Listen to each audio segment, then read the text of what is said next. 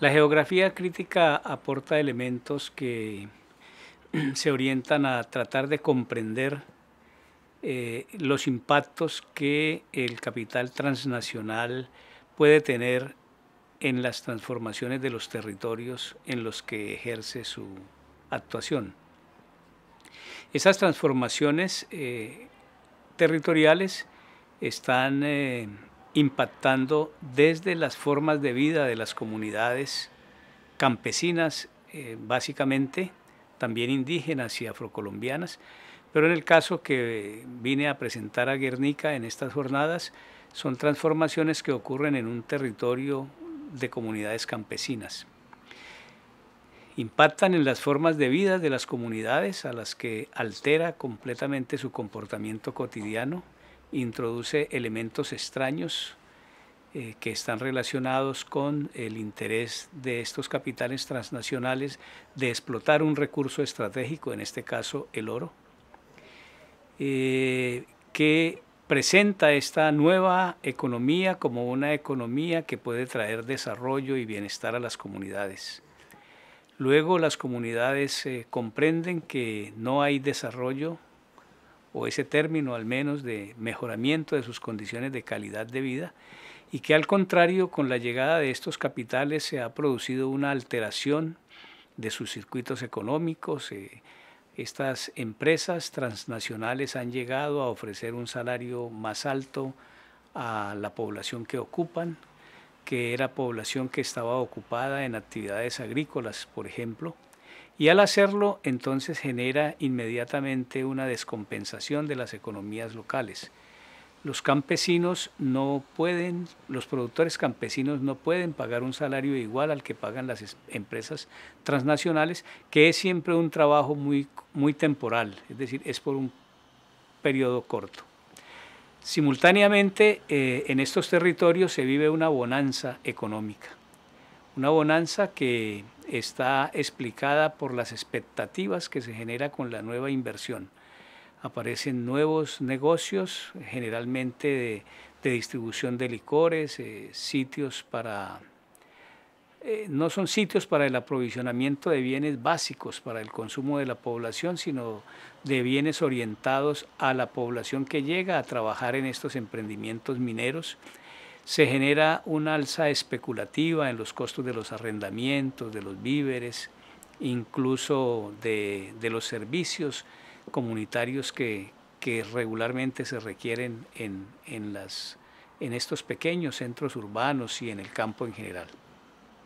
Simultáneamente también eh, ocurre en Colombia como en Latinoamérica que la llegada de estos emprendimientos del capital transnacional ha producido desplazamiento de población campesina. El capital transnacional está acusado de haber realizado campañas para despoblar el campo entonces, específicamente en Cajamarca, Tolima, que es donde se ejecuta el proyecto minero La Colosa, la empresa transnacional Anglogola Chanti Colombia ha sido acusada de estar relacionada con una masacre de campesinos ocurrida siete años antes de su llegada pública al territorio. Se produce entonces después de esta masacre un proceso de desplazamiento de población campesina que siente temor que porque su vida está en peligro, está en riesgo. Ese fenómeno de desplazamiento es un fenómeno de, de desterritorialización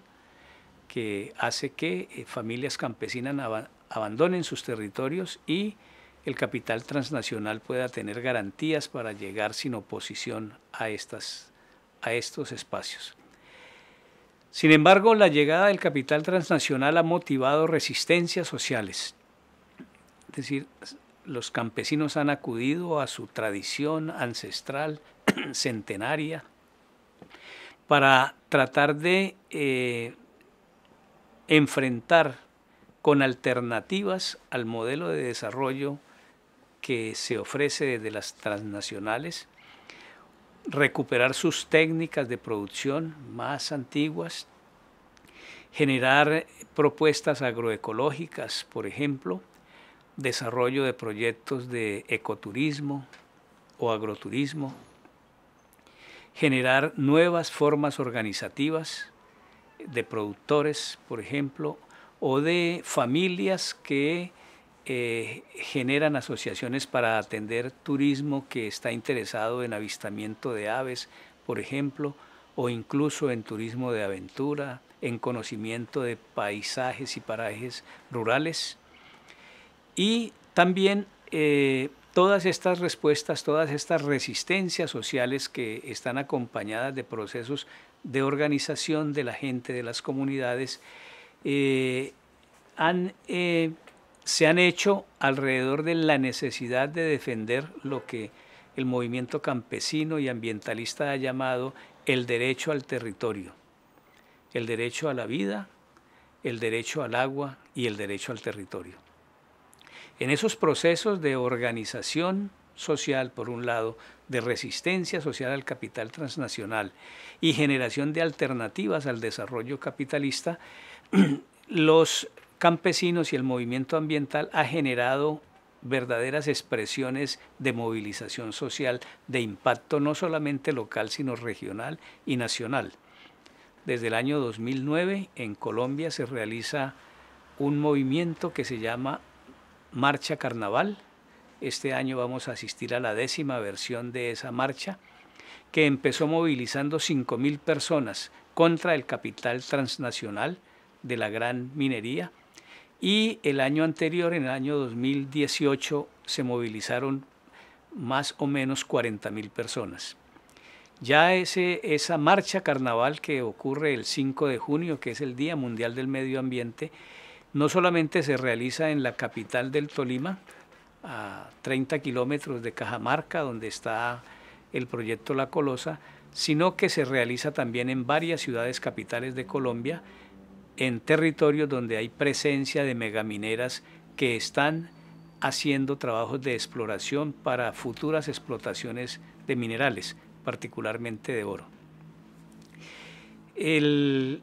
proceso entonces de organización social, movilización, ha generado la creación no solamente de asociaciones de productores y de asociaciones de jóvenes, asociaciones culturales y también organizaciones de mujeres campesinas, sino que ha generado alianzas del movimiento campesino y ambiental a nivel local en Cajamarca, a nivel regional en el Tolima y a nivel nacional en Colombia. Redes del movimiento ambiental se mueven en, esas escalas espaciales. Esa es una expresión de la transescalaridad de un movimiento social que se hace en respuesta a la presencia del capital transnacional. Ese, proceso de llegada del capital transnacional a estos territorios, pues es parte de una dinámica contemporánea del, del modelo neoliberal, de un nuevo proceso de acumulación que aquí en las jornadas de, vigésimas novenas jornadas de Guernica se ha escuchado mm, eh, mencionar como de neoextractivismo o de un, decimos nosotros desde la geografía crítica, un modelo flexible de acumulación del capital para este tiempo, que eh, está ocurriendo en un momento en que Colombia ah, acaba de firmar hace un año largo un proceso de paz con la insurgencia de las Fuerzas Armadas Revolucionarias de Colombia. Hemos dicho entonces también que ese acuerdo de paz eh, aparece eh,